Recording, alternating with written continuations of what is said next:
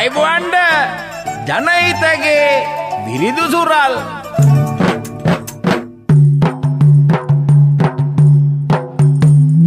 සුපෙන්වතුනී මේ බලන්ටකෝ අපේ අධ්‍යාපනයේ වරින් වර වසරෙන් වසර ආණ්ඩුවේ ආණ්ඩුව එහාට මෙහාට පයිනෝ.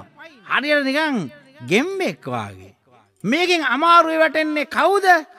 අහලා බලන්නකෝ.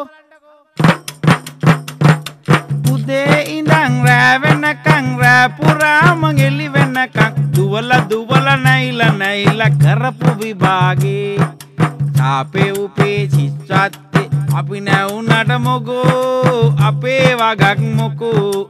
පාට උගුල් අටවාලා වෙනසීයයි අනාගතේ. පාට උගුල් අටවාලා වෙනසීයයි අනාගතේ. එදහස් පන්සීයෙන් ජීවත් වෙන්න කියා. අපේ අධ්‍යාපන ඇමතිපියා අපේ සිසුන් ආයෙත් දඩු කඳේ තියා. ජාතික පාසල් නීතිය ගෙනපියා ජාතික පාසල් නීතිය ගෙනපියා ජාතික පාසල්වල ඉන්නා සිසුන් අට යන්නට ඕනෑ. උනොතින් නව පාසලට අලුත් නීතියක් ගෙනවිත් වැඩ නැතිවාට. යන්නට බෑ ඇමතිගේ නීතිය අනුව. යන්නට බෑ ඇමතිගේ නීතිය අනුව. ගමේ පිපෙන මල් එහෙ පරවෙලා පල. අපේ උන්ට පමණයි මේ රුකේ පල. එහෙම හිතන් ඇමතිතුමා කපපු වල උඩ ඉන්නා දෙවිඳුනි අවනඩුව බල. උඩ ඉන්නා දෙවිඳුනි අවනඩුව බල. ජාතික පාසල් තියෙනවන් ඒක ඇත්ත රට පුරාම සුපිරි ගණයේ පාසල් ටික ඔක්කොම එකමුතු වුණාද? එම එකේ ඇයි අම්මල පට්ටම බේගල් ඇද ඇද? තමන්ගේ දරුවා දාන්නේ රට පුරාම පාසල්වල. තමන්ගේ දරුවා දාන්නේ රට පුරාම පාසල්වල. රට පුරාම ඉන්න අපේ දූ දරුවන්නට සමාන ලෙස සලකන්නට බැරි වුණු අපට.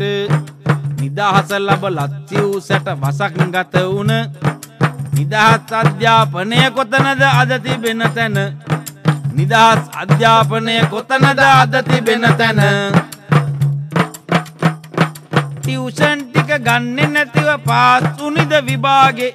පාසලේදී උගන්නන්නේ මොනවදන් අද අබාගේ යකාගේ හැටියට කියන හදලා තියෙන විමානේ. ටියවෂන් කඩ මුදලාලි ඇමතිතුමා අධ්‍යාපනය. ටියවෂන් කඩ මුදලාලි ඇමතිතුමා අධ්‍යාපනය.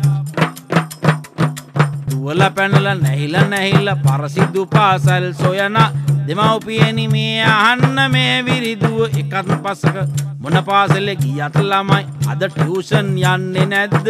එනං ඔච්චර නැහිලා ඇයි මේ කරන විකාර කොයිස්කෝලෙට ගියත් අධ්‍යාපනය කයි නේද? එනම් මොකටද පාසල් ටියවෂන් ටික හොඳයි නේද?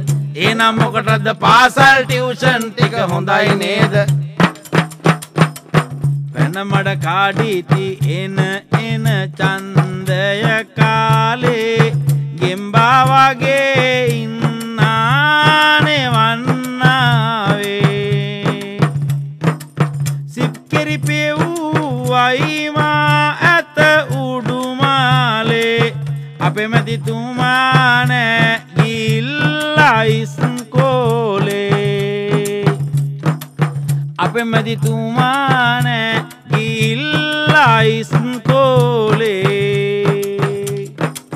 අපෙමැතිතුමානෑ ගිල්ලයි ඉස්කෝලේ.